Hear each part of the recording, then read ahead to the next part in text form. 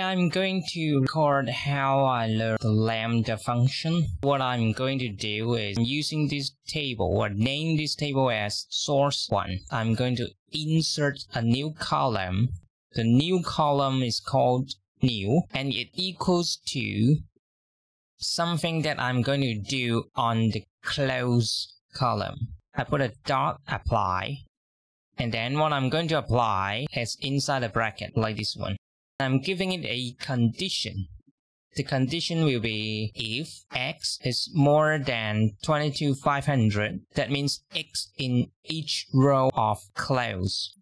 This one, this one, this one, and this one. If each row in closed column is more than 22,500, the x, that means each row value will equal to x times 2 and it will be displayed on the close column. Otherwise, if x is not more than 22,500, I'll just return x. It will be like this, just like this one. I'll just multiply the close by 2 and I can change that's the lambda I can change if it has to be less than 25 22,500 shift enter then I'll see this. Only these two records of close will be multiplied by 2. The other close will remain the same. Why I use the lambda function? Because I don't know how to use the for loop. That's why I use this apply and lambda function. So I just conclude,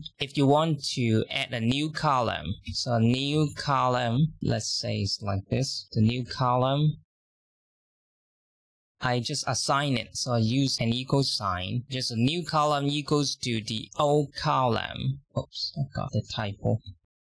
Old column and then dot apply something. And then I use lambda lambda.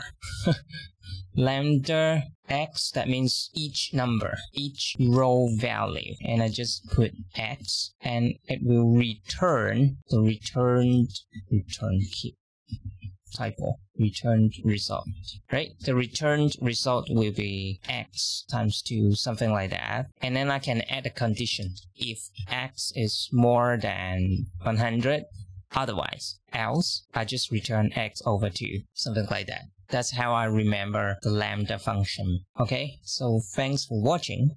Bye bye